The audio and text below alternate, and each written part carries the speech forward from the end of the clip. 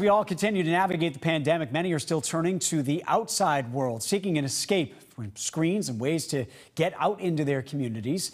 Author Patrick Maguire is taking that one step further. Next week, he is starting an ambitious journey to walk every neighborhood in Boston. He's going to start at the Wood Island T stop in East Boston, plans to cover about half of the neighborhood, the equivalent of a half marathon, just over 13 miles. He'll then cover the other half at a later date. He told our Brianna Pitts he was partly inspired by the pandemic to get up and get outside to learn more about the city and its iconic neighborhoods and the hidden gems within them. I want to rekindle relationships with everyone that I've promised to to meet up for that that cup of coffee. I'm a tea drinker, but a cup of coffee or a drink or and walking is one of the best ways to reconnect with old friends and I hope to meet some new friends along the way in the neighborhoods of Boston.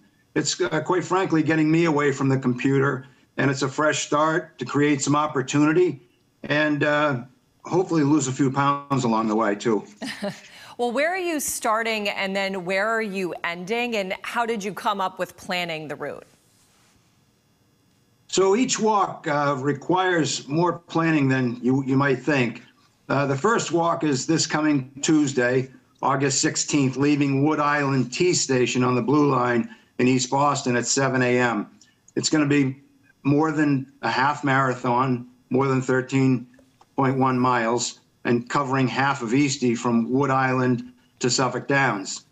And uh, the second walk will be the other half of Eastie. And then after that, the next neighborhood will be to, to be determined. Says all are welcome to join him as he canvasses every neighborhood.